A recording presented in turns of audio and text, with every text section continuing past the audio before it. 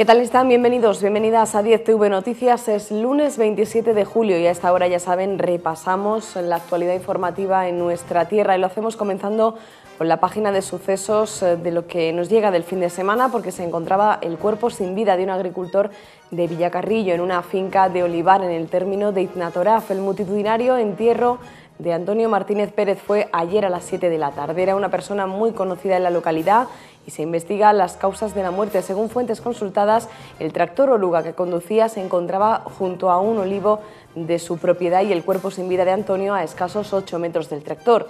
El informe forense determinará la causa del fallecimiento, aunque en un principio se apuntó a un accidente con el tractor. Otras hipótesis apuntan que no tuvo nada que ver la maquinaria que conducía. Y el Infoca estima en 60 hectáreas de pinar, matorral y cultivo de olivar la superficie afectada por el incendio en el monte Aznaitín, declarado el pasado jueves y que este domingo se daba por extinguido. Se trata de una primera estimación de la superficie afectada por el fuego. Según la Brigada de Investigación del Infoca, el origen fue intencionado tras localizar tres puntos diferentes donde comenzó el origen. Se trata de 60 hectáreas de alto valor ecológico, según han confirmado el Infoca y también desde el Ayuntamiento. Lo abrupto del terreno ha dificultado la realización de esta estimación que puede cambiar incluso en las próximas horas, aunque nos esperan grandes variaciones sobre la medición inicial. No obstante, habrá que esperar unos días hasta que la Policía Científica pueda acceder a los terrenos afectados por el fuego para iniciar una investigación y perseguir al presunto autor o autores del incendio si finalmente se demuestra que ha sido intencionado. Y en página política, el Partido Popular de Jaén ha mostrado hoy su satisfacción tras la celebración del Comité Ejecutivo Regional del PP en la ciudad de Málaga, donde se ha establecido la nueva estructura del Partido Popular y donde se han incorporado nuevos nombres de la provincia de Jaén.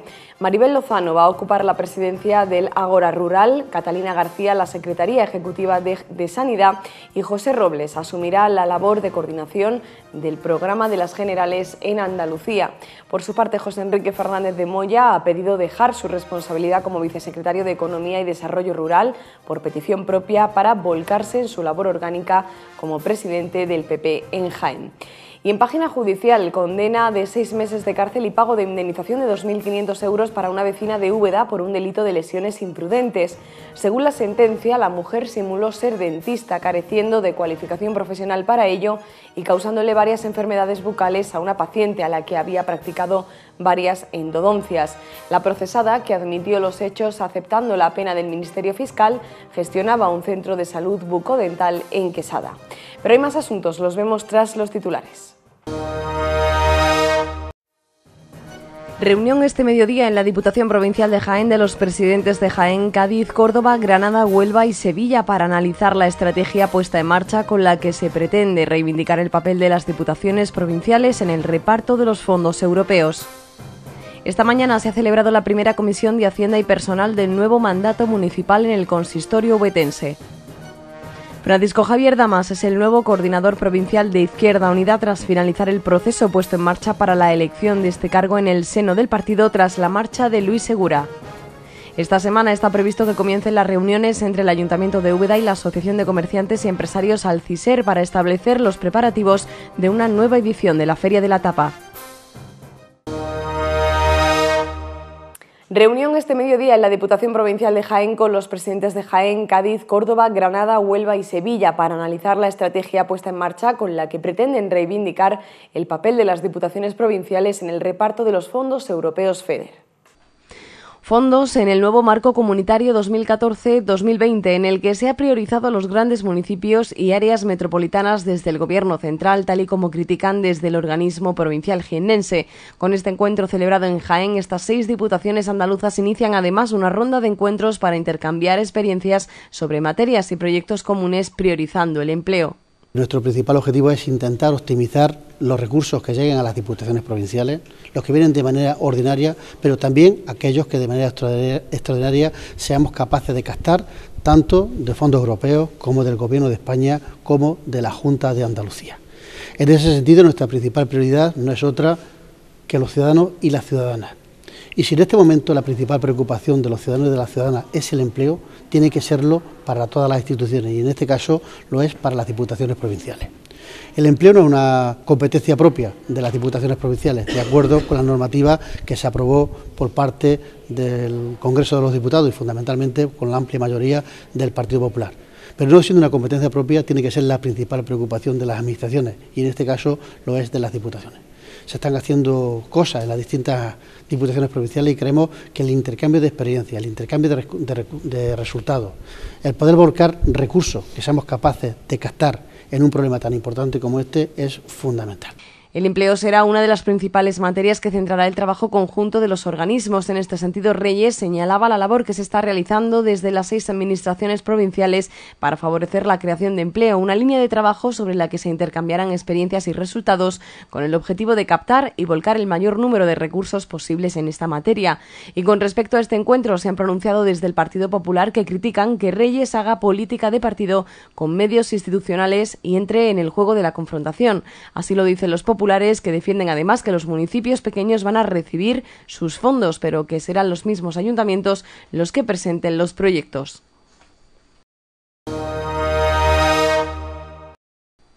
El presidente de la Diputación Provincial, Francisco Reyes, ha mantenido esta mañana una reunión con la nueva delegada de la Junta de Andalucía en Jaén, Ana Cobo, en la primera toma de contacto oficial tras su reciente nombramiento. Reyes ha felicitado a la nueva dirigente del Gobierno andaluz en la provincia y ha destacado que en un territorio como el nuestro el peso del Gobierno andaluz es clave porque son muchas las competencias que tienen y muchos los ámbitos de colaboración entre Junta y Diputación. En esta visita de la responsable del Gobierno andaluz en Jaén al Palacio Provincial se han abordado temas que tanto Reyes como Cobo han calificado de prioritarios para la provincia, entre los que han resaltado el empleo. El empleo, sin ser una tarea propia de la Diputación Provincial, nuestra tarea es apoyar a los pequeños y medianos municipios en sus servicios, en su infraestructura, pero el empleo es la principal preocupación de los ciudadanos y, por lo tanto, tiene que ser la principal preocupación de los políticos. Y en ese sentido, Ana conoce perfectamente el mundo del empleo, los problemas del desempleo, conoce lo que ha supuesto eh, la llegada de empresas a la provincia de Jaén, conoce los recursos con los que cuenta la Junta de Andalucía, pero fundamentalmente también conoce, porque nos ha ayudado a la hora de poner en marcha instrumentos que desde la Diputación Provincial hemos puesto en marcha a disposición de las empresas y a disposición de los autónomos, a disposición de los emprendedores y de las emprendedoras. Si queremos que los recursos que tenemos eh, como instituciones tengan el mejor rendimiento y la máxima eficiencia, puesto que, como sabéis, todos son limitados. Eh, nos une la tarea de ayudar a los ayuntamientos, de apoyar a los ayuntamientos y sobre todo tener como temas clave el empleo, los servicios sociales y el turismo. Eh, desde ese punto de vista son tres frentes claves para la provincia de Jaén en los que vamos a trabajar de forma coordinada y todo empezaba por eso, ¿no? por hacer una primera puesta en común hoy y que no es nada más que el principio de, una estrecha colaboración que tiene que ser así eh, en los próximos, en los tiempos que vienen ahora, en ese nuevo tiempo que, como ha dicho el presidente, se abre del Gobierno de la Junta de Andalucía y colaboración con la Diputación. München.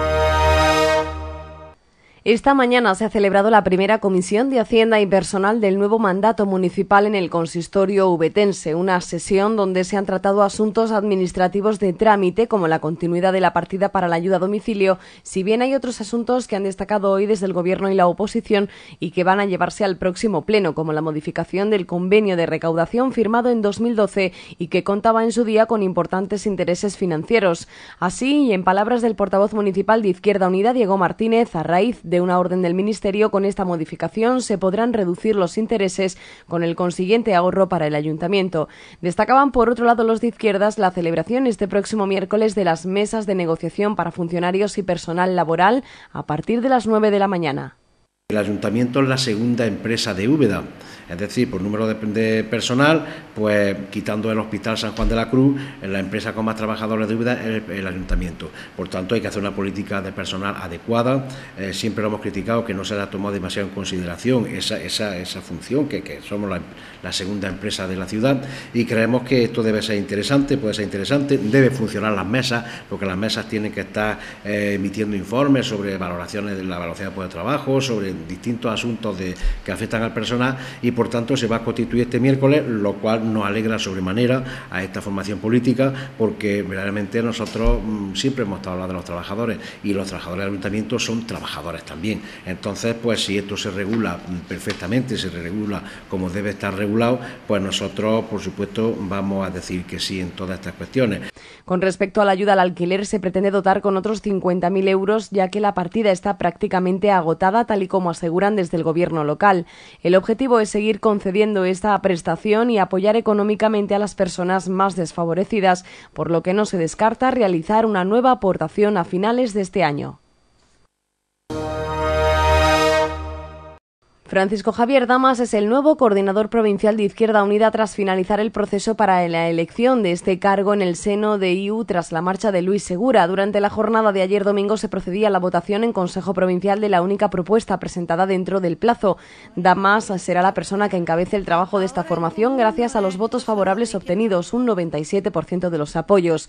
De ello ha dado cuenta hoy la coordinadora local de Izquierda Unida en Úbeda, Mercedes Carbajo. Con la llegada de Damas, decía, se produce un claro gesto de renovación en el partido en la provincia y la puesta en marcha de una nueva etapa en la que se priorizará el trabajo con colectivos y contra las políticas de recortes. Eh, con la llegada de Francis Dama eh, como coordinador provincial de Izquierda Unida, pues llega a Izquierda Unida a la cúpula, evidentemente, eh, la renovación. Francis, pues para nosotros representa el cambio, representa ese camino hacia la unidad popular eh, y ese camino hacia eh, un remontar de Izquierda Unida en Jaén eh, que tanto deseamos todos y todas las militantes de Izquierda Unida. Igualmente informaba de la presentación en Úbeda este próximo jueves de la plataforma Ahora en Común Jaén. Será a las 8 de la tarde en el Hospital de Santiago. Por otra parte, y ante los rumores de que hay militantes que piden la dimisión de Mercedes como coordinadora local, la misma salía al paso reconociendo que esta petición le consta, pero señalando que no hablará de problemas problemas internos de la formación. Tampoco han querido hacer declaraciones desde la formación de izquierdas con respecto a la dimisión de varios miembros del Consejo Local de Izquierda Unida. Esto es lo único que comentaba el portavoz municipal. Seguimos funcionando con total normalidad, es decir, que no ha pasado nada, hay una dimisión, que ahora ya, pues, hasta que no haya la próxima asamblea, pues se decidirá el número de miembros que va a ser y luego, pues, la, la responsabilidad se repartirá, pero eso toca cuando toque, cuando, eh, cuando se proceda al proceso, cuando eh, se comience el proceso asambleario, pero no solamente a nivel de UDA, sino a nivel de toda de todo el Estado. El Consejo, el Consejo Federal eh, decidirá la fecha de la que, que, van haciendo el proceso asambleario a nivel provincial, autonómico, federal y, pues, lógicamente, local, pero ahora mismo de momento nada, el Consejo Local sigue funcionando como si tal cosa. En lenguaje vulgar, si me permitís, eh, los trapos sucios se lavan en casa. Entonces, Claro, pero eso es cuestión de cada eh, son actitudes personales que nosotros ahí no vamos a entrar. Nosotros eh, somos, creo que somos fieles cumplidores de lo que dijo la, de la 19 Asamblea de Izquierda Unida Convocatoria por Andalucía y entonces ya digo que asuntos de, orden interno, pues verdaderamente eh, no debemos irarlos porque es una cuestión que son discrepancias, básicamente algunas discrepancias y entonces esas discrepancias pues se resuelven hablando. Entonces pues creemos que eso va a tener solución, que no va a tener más importancia de la que creo que se le pueda o que le están dando. Más datos, en este caso los que arroja la campaña especial de tráfico para el control de la velocidad desarrollada durante la pasada semana y que concluía anoche. Cifras similares según la Jefatura Provincial de Tráfico en Jaén en cuanto a la última campaña realizada el pasado mes de abril.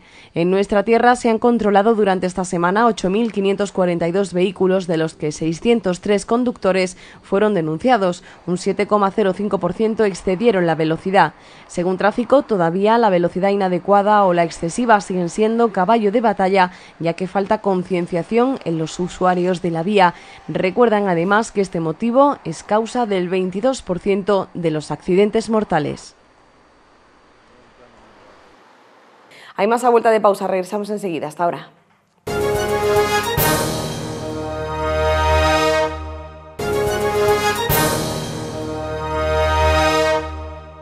Regresamos con otras noticias. Se está realizando con éxito en la ciudad de Villacarrillo un campamento urbano orientado a que los niños y niñas estén ocupados con deportes y juegos realizados tanto en el pabellón como en el Polideportivo Villacarrillense. Se trata sobre todo de que mientras los padres están en el trabajo, los niños estén ocupados. La edad de los niños que están apuntados está comprendida entre los 7 y los 12 años. Se fomenta sobre todo el buen ambiente de diversión y el compañerismo. En cuanto al desarrollo del campamento, este se hace de lunes a viernes desde las 9 hasta las 2 de la tarde y cada campamento dura 15 días. En la quincena anterior hubieron 24 niños apuntados y el precio del campamento es de 30 euros por niño y quincena. María Villacañas, la monitora, pretende enseñarles el valor de la educación, que aprendan nuevos deportes y juegos tradicionales que los niños no suelen jugar. También les están enseñando a relacionarse con gente mientras se divierten y salen de la rutina que se crea normalmente en las escuelas. Consiste en, mantener a los niños eh, ocupados mientras los padres están trabajando, hacer un poco de deporte en verano, que salga también de la rutina del colegio y por lo menos pasar el rato, divertirse y pasarlo bien. Pues hacen entre juegos tradicionales, que es lo que les quiero involucrar de lo que yo llevo viviendo también, que ellos más o menos lo sepan, que hoy en día tampoco se lleva. Luego aparte los distintos deportes que se pueden realizar en, el polideportivo y aquí también en el pabellón. En la quincena anterior creo que hubo sobre de 22 a 24 y en esta por ahora hay sobre 14 niños. Da media pues sobre 6, 7, algunos se cuela de 12, pero vamos, más o menos esa es la edad. A algunos les cuesta más que a otros. Eh, los más mayorcillos eh, suelen eh, se suelen ser más superiores a los pequeños por el tema de la edad, saben más también de la vida, saben más de deporte, pero bueno, en realidad cada uno tiene su grupillo y ellos se defienden como pueden. Sí les gusta. De hecho, yo tenía niños cuando yo entrenaba fútbol que el deporte no, no, le gustaba en sí, pero claro, al hacer distintos, distintos tipos de deportes, al conocer ya más niños, al agruparse, hacer distintas actividades, me da cuenta de que a los niños cada vez les gusta más. El pasado viernes comenzaron los campamentos de las Juventudes de Acción Católica. Se trata del primer turno de estos campamentos clásicos y ya históricos en la ciudad de Úbeda. Según nos contaban desde la organización, se han ocupado todas las plazas ofertadas. del 4 al 15 de agosto tendrá lugar el segundo turno y del 15 al 17 el tercero y último. Ganas, sonrisas y buen humor tras medio siglo de campamentos. Y es que nos decía uno de los responsables, Cristóbal Matarán, siente en la playa de la Barrosa, en Cádiz, donde cada año se celebran los campamentos, como suya. Esta semana está previsto que comiencen las reuniones entre el Ayuntamiento de Úbeda y la Asociación de Comerciantes y Empresarios Alciser para establecer los preparativos de una nueva edición de la Feria de la Tapa. Al respecto, se plantea a priori un cambio de ubicación para traer este exitoso evento a la zona del centro histórico. Y es que, según el concejal de Comercio, José Luis Madueño, ese era uno de los objetivos de la misma cuando se puso en marcha por primera vez, buscando la revitalización del centro histórico y que los establecimientos de la zona se beneficien. También se estudian fechas para evitar en la medida de lo posible que coincida con la celebración de la Feria de Maquinaria Agrícola. Decía el edil que se estudiarán las posibilidades con el sector y con los vecinos de la zona. Que a mí no me gustaría que coincidiera con maquinaria agrícola. Otro año ha coincidido y no había ningún problema. Pero, en fin, la Feria de la Tapa tiene su, tiene su tema para montarla. Vamos que es complicado, que necesita una serie de manos de obra importantes. Lo que sí te puedo decir es que la Feria de la Tapa se creó ¿eh? para, de alguna manera para poner en valor el casco histórico. Entonces, yo creo que una feria de la tapa no tiene sentido hacerla en el Parque Norte ni hacerla en otro sitio que no, que no sea lo que queremos darle valor y lo que queremos de alguna manera que, que, suba, porque ahí el casco histórico ha bajado mucho en todos los aspectos.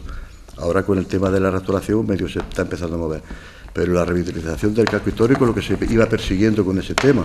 Y antes de dar un paso, sí queremos consensuarlo con vecinos y con los negocios de alrededor, porque también si se sienten perjudicados y los vecinos rotundamente se niegan, pues quizás no demos el paso.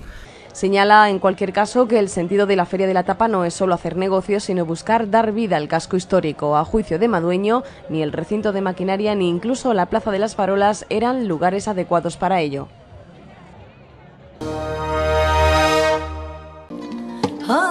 Soy como San Martín.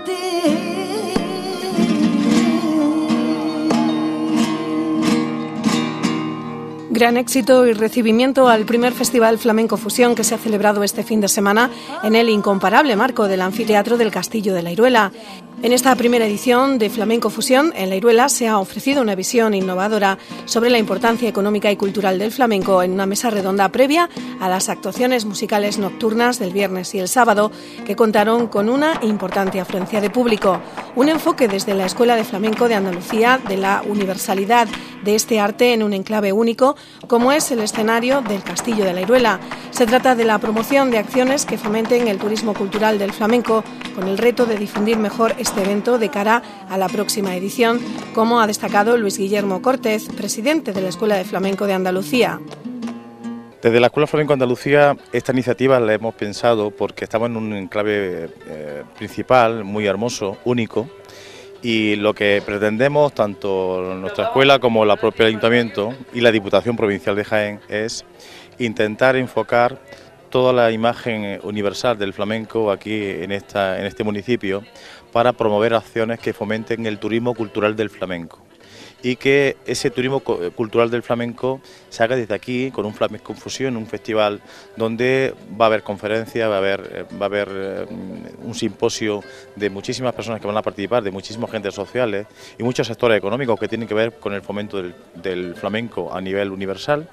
Y esto va a permitir que vengan más mercados, que compren productos, que se hagan productos nuevos enfocados a la importancia del flamenco con la naturaleza, el flamenco con el aceite de oliva, el flamenco con la cultura, el flamenco con la gastronomía, el flamenco con, con los territorios. ¿no?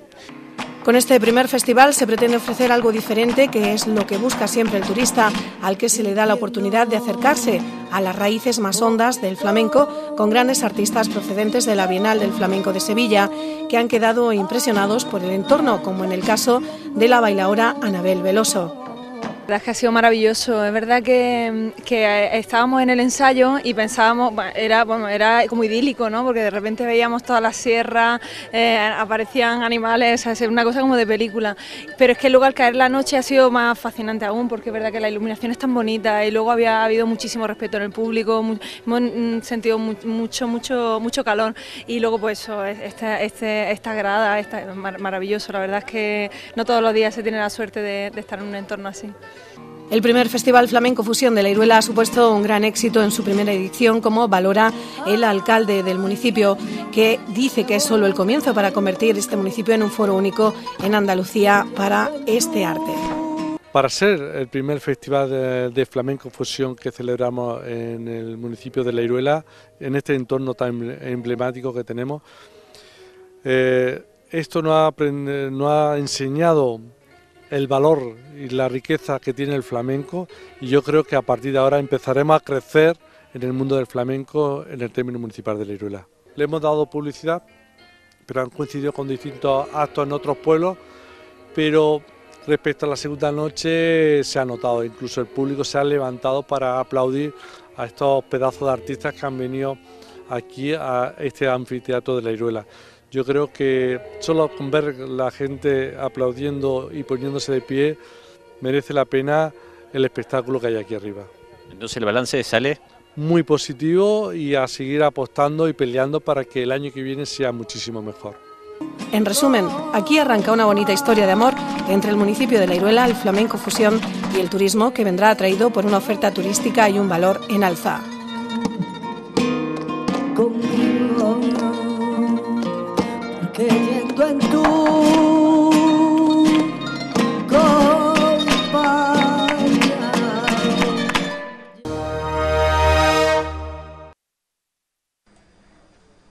Ayer concluía la vigésimo séptima edición del Taller Provincial de Música de Baeza. Su director, Martín Morales, dice se han cumplido todas las expectativas en general y en todos y cada uno de los pueblos por los que han pasado. Arjonilla, Los Villares, Peal de Becerro. No se trata de formar a los chavales de cara a un futuro profesional en el mundo de la música, sino de tratar, ha dicho, que se diviertan a través de la música tiene una parte muy importante de campamento de verano, un taller en el que se han dado cita un total de 84 niños y niñas de entre 9 y 16 años. A pesar de ser más las solicitudes, no podían aceptarlas, pues deben ofrecer una mínima calidad.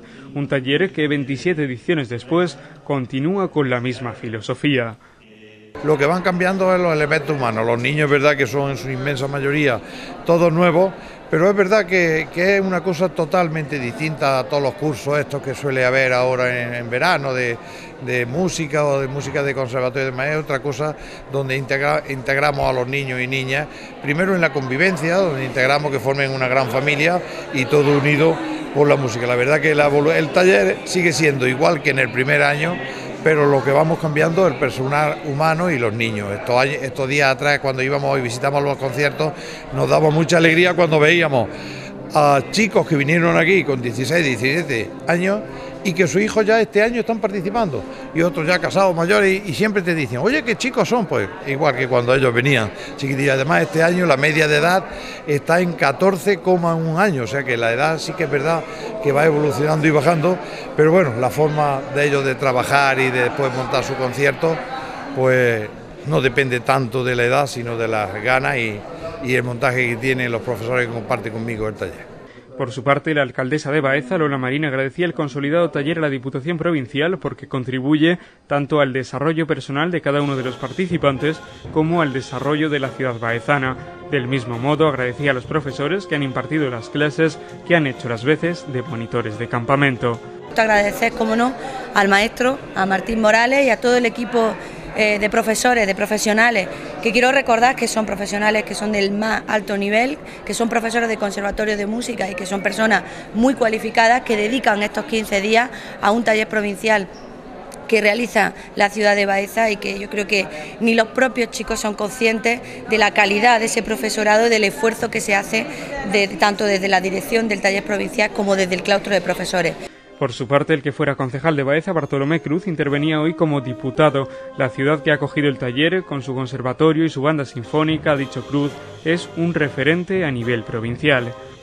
Y por ello la Diputación Provincial pues, eh, optó en su momento para que Baeza fuese sede de este taller provincial que comentando con, su director, con Martín Morales, pues como bien ha dicho anteriormente, pues ha sido un éxito de participación y un éxito en todos los conciertos que se han realizado en toda la provincia. Participan alumnos de 34 municipios de toda la provincia, eh, son alumnos y alumnas que son todos menores de 22 años, por lo tanto eh, ellos cuando nació este, este taller provincial, pues no habían nacido todavía ellos, son, son muy jóvenes.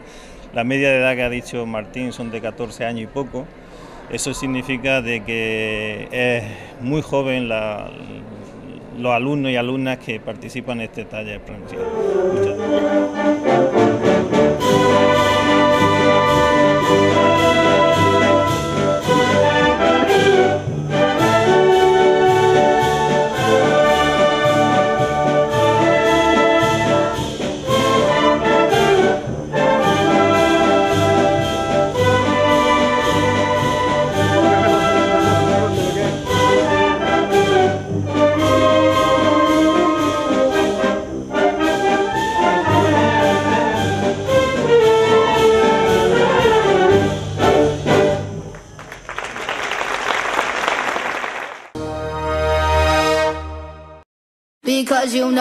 Bazar Ceuta e Irene Joyas. Confianza, garantía, trato. El lugar donde puedes encontrar el mejor producto, el mejor regalo. Disponemos de todas las marcas en joyería y relojes.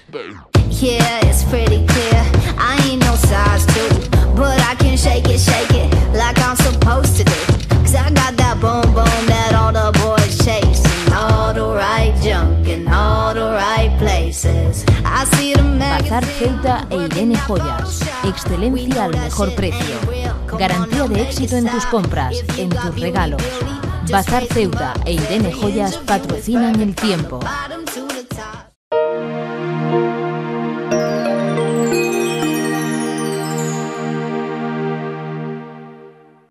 La semana ha dado comienzo con mucho calor en nuestra tierra lunes que nos dejó cielos poco nubosos o despejados y temperaturas en ascenso con valores que se movieron entre los 21 grados de mínima y una media de 37 en las máximas. Los vientos fueron flojos variables tendiendo a componente oeste. Para mañana previsión de la Agencia Estatal de Meteorología.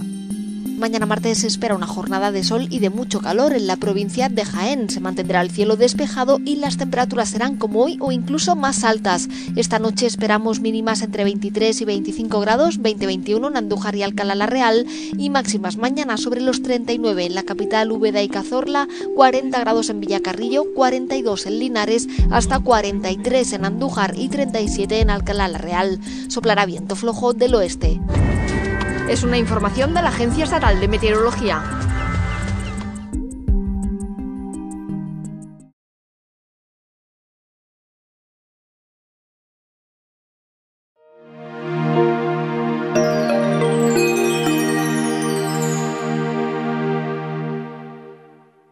Nos vamos, nos marchamos con imágenes y música del concierto del artista malagueño Pablo Alborán este pasado fin de semana en el campo de fútbol de Baeza y como antesala a la feria y fiestas de la patrona, la Virgen del Alcázar, que se celebrarán en agosto. El artista volvió a encandilar a los miles de fans que días antes ya se agolpaban en la puerta para no perderse los temas de su ídolo dentro del Tour Terral 2015 que está cosechando éxitos por todo el panorama nacional. Más de 6.000 personas se dieron cita en Baeza, en la ciudad patrimonio de la humanidad, en una velada cargada de música y espectáculo. Nos marchamos con su música, como siempre, gracias por estar ahí y buenas noches. ¿Cómo? no dudes ni un segundo de mi alma.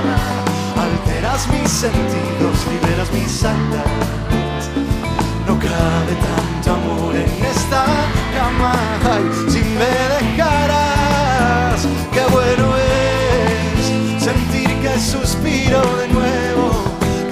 nacen y rocen juntos forman fuego, delicada llama que nunca se apaga. ¿Cómo? Sin ti yo me pierdo, sin ti me vuelvo veneno. No entiendo el despertar sin un beso, eso sin tu aliento en mi cuello. Sin ti yo me pierdo, sin ti me vuelvo veneno. No entiendo el despertar sin un beso.